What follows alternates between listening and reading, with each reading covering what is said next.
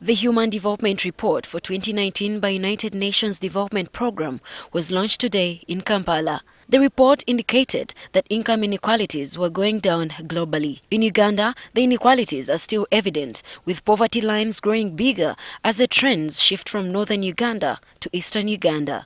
The gap between the rich and the poor is still big.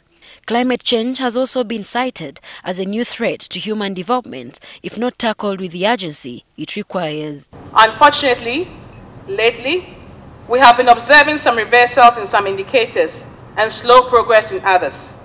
These include a rise in income poverty from 19.5% in 2012-2013 to 21.4% in 2016-2017.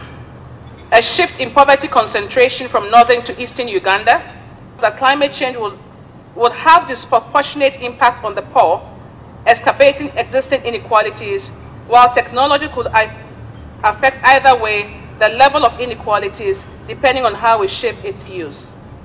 This means we must systematically manage the climate crisis. The inequalities have been attributed to a number of factors. The, the, the most economically democratic sector that should have caused growth that should have caused that inclusive growth is really to do something on agriculture.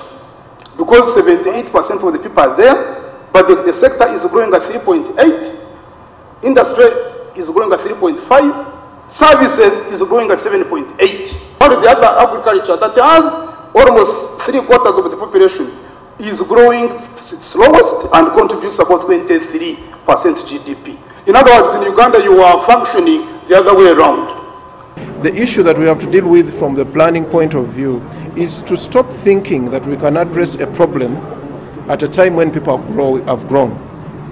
We should be addressing the problem from the day a person is born. Prepare them for the future. I mean, if we have children who are growing with sickness, don't expect them to be better adults. So the investment should start from the day a lady conceives. The report notes that if the inequalities in human development persist and grow, the aspirations of the 2030 Agenda for Sustainable Development will only remain stated on paper with no fulfillment. Olivia Komgisha, NTV Weekend Edition.